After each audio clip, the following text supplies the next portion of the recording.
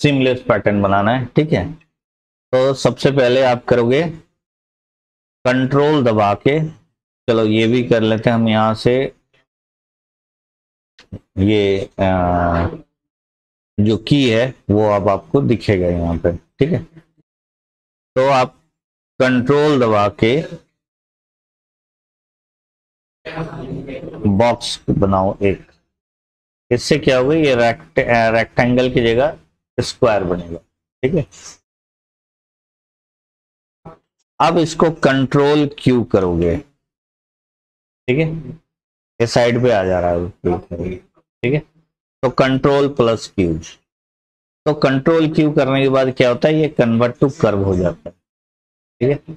अब आप इसको डबल क्लिक करोगे तो आपका ये सेप टूल में अपने आप आ गया। डबल क्लिक करने से। फिर इसको आप सेलेक्ट करके डिलीट कर सकते हो, या फिर इसके ऊपर डबल क्लिक कर सकते हो। तो अपने आप डिलीट हो जाएगा। क्लियर है?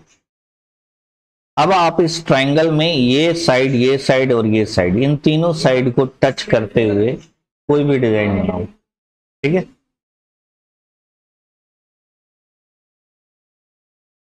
अगर आप कोई भी डिज़ाइन बना लेते हो इनको टच करते हुए, ये स्नैप टूल हटा दिया मैंने तो अब मान लो मैं यहाँ कॉर्नर वाला कोई डिज़ाइन बनाता हूँ।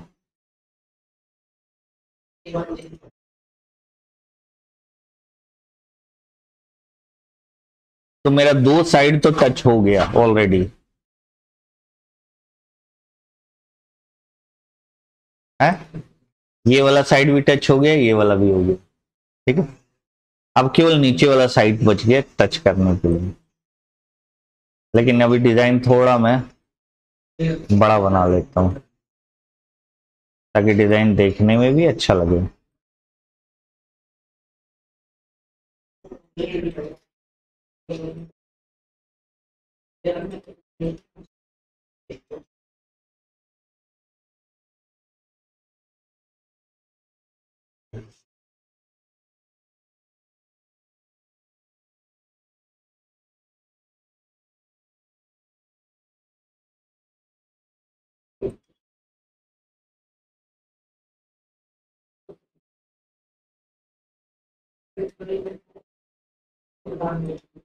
ये यहाँ से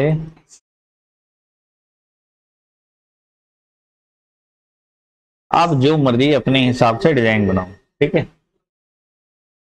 अब ये नीचे वाले पोर्शन को भी टच करवा लें या कॉर्नर इस कॉर्नर में कोई डिज़ाइन बना लेते हैं।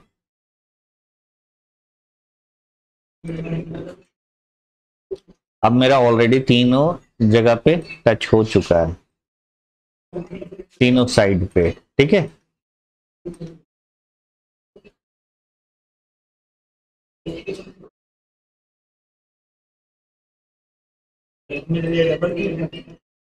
है? नहीं, आप जो लास्ट वाला पॉइंट है ना, वहाँ जाके क्लिक कर दे। देगा जहाँ से शुरू कर रहे हैं, वहीं पे खत्म कर रहे हैं। अब इसको मैंने सेलेक्ट किया। अब सिलेक्शन के लिए अगर मैं ऐसे कर दूँगा तो मेरा ट्राइंगल भी सिलेक्ट हो जाएगा। ठीक है? अगर ट्राइंगल को डिसलेक्ट करना है तो शिफ्ट दबा के आप ट्राइंगल के ऊपर दोबारा क्लिक कर दो। ठीक है?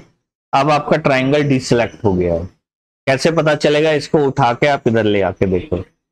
हो गया? ये एक मेथड है। पर ये मेथड आपको दिखता नहीं है तो आप कंफ्यूज कर सकते हो। तो दूसरा मेथड है कि आप इसके ऊपर जाके राइट क्लिक करके इसको लॉक कर दो। तो ट्राइंगल आपका लॉक हो गया। उसके बाद आप सेलेक्ट करोगे तो आपको केवल ऊपर का डिज़ाइन सेलेक्ट करो ठीक है? इसके बाद आप इसको वेल्ड करो।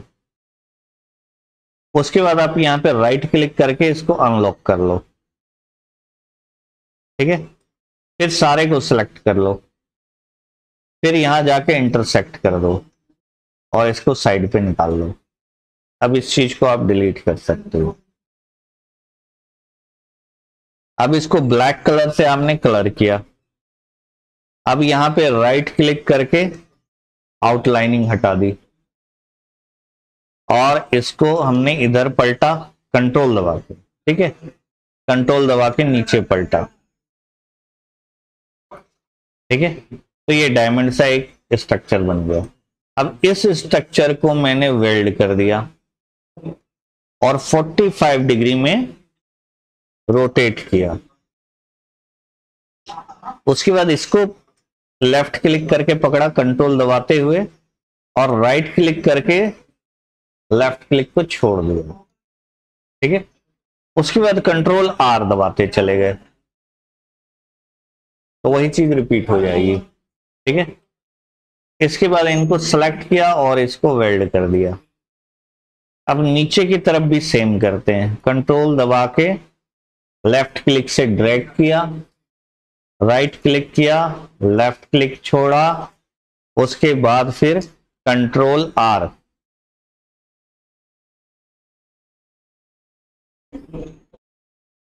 ये हमारा डिज़ाइन बन गया। क्लियर आप जो भी बनाओगे, बहुत अच्छा डिज़ाइन बनेगा। पैटर्न के बहुत, आपको 25 25 बनानी है अभी फ़िलहाल। इसको हम सेव करते हैं, कैसे वो भी देख लो। अगर इसको मेरे को एडॉब स्टॉक में सेल करना है, या सटर स्टॉक में सेल करना है क्योंकि ये ओरिजिनल डिज़ाइन है।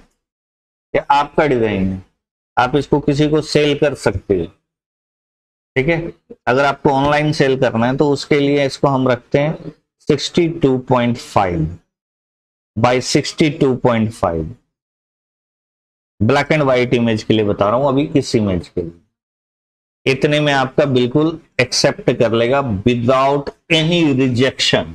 ठीक है कोई रिजेक्शन नहीं आएगी आपको इन साइट्स में। अगर आप पूरा रूल फॉलो करके बनाओगे डिज़ाइन तो। क्लियर है? अभी इसको आप कैसे करोगे? कंट्रोल एस कर दो। इसको मान लो मैं यहाँ सेव करता हूँ। ठीक है? ये 198 नंबर है मेरा। नहीं 298 तो ये 299 नंबर हो गया। सेव ये C D R form save हुआ, लेकिन सी डी आर फॉर्म को वो लोग एक्सेप्ट नहीं करते। क्लियर तो वो करते हैं या तो जेपीजी या ईपीएस उसके लिए आप फ़ाइल में जाओगे एक्सपोर्ट करोगे। अभी आप लोग डिज़ाइन बना रहे हो तो आप लोगों को भी कोशिश ये रखनी चाहिए कि आप डिज़ाइन को सेव भी करते जाओ। क्योंकि 25 तो बनाए हो कम से कम 25 तो डाल दो सटर स्टॉक में या इनमें ठीक है? और 25 को फिर कभी टाइम मिलता है, डालते रहो, ठीक है? क्योंकि अभी प्रैक्टिस ही कर रहे हो। अब आप इसको जेपीजी में कन्वर्ट कर रहे हैं। एक्सपोर्ट किया। अब ये मैंने 62.5 लिया हुआ है। लेकिन अगर जेपीजी इस साइज़ का बना देंगे तो बहुत बड़ा बन जाएगा। तो हम क्या करते हैं, इसको 40 40 परसेंट में कर देते हैं। ठीक है? यहाँ पे 40 टाइप कर दो।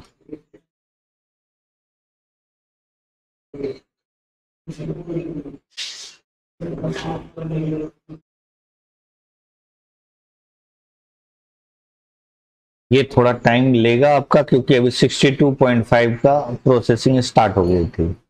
पर अभी मैंने इसको 40 परसेंट में कर दिया है। आप, ये कंप्यूटर ही लगता है हैंग कर गया। नहीं नहीं, आ गया। ठीक है? अब यहाँ से मैं इसको थोड़ा सा चेंज करता हूँ। फिर से इसके ऊपर डालता हूँ या फिर, क्योंकि वो जो पिछला मेरा सेटिंग था वही ले रहा है। तो हम डेम्स टाइम में डाला तो अब देखो, ये 25 हो गया है। ठीक है?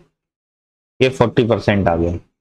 अब इसको आप ओके कर दिए सेव हो गया। तो ये मेरा जेपीजी सेव हुआ। जेपीजी को छोटा करके सेव किया हमने 25 में।